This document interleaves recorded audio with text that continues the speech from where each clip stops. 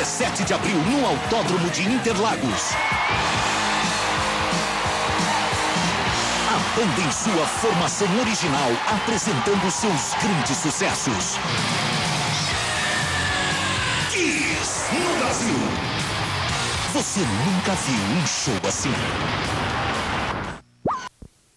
Mais de uma hora, com muitos efeitos visuais e muito barulho. São 150 mil watts de potência para garantir esse mega espetáculo. Os vovôs do rock mostram que estão em plena forma.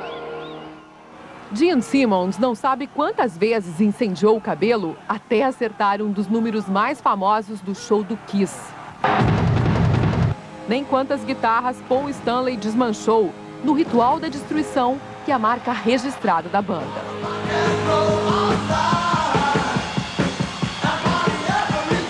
A agressividade no palco e o visual mascarado nasceram com o Kiss há 26 anos. Eles queriam uma imagem que marcasse.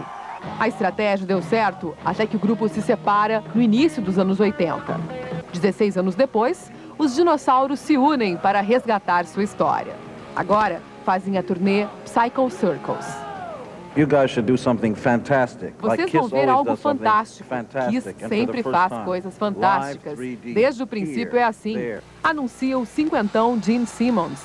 Em Porto Alegre, a movimentação em frente ao local do show começou cedo hoje. Os fãs, com idade para serem netos dos integrantes da banda, pareciam alucinados.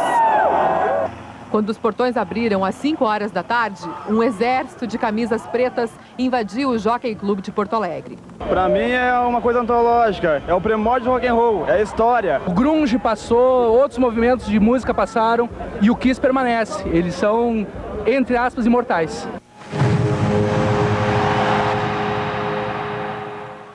Essa garotada que nunca tinha visto o show do Kiss está tendo o privilégio de ouvir antigos e novos sucessos.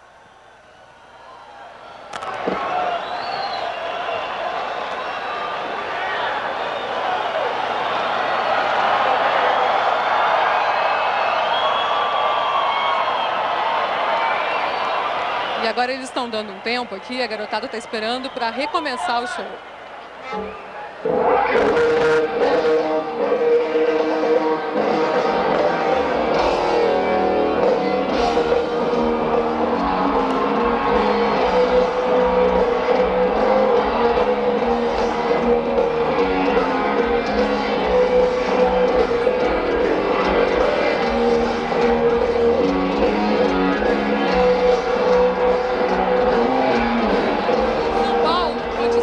fazem isso.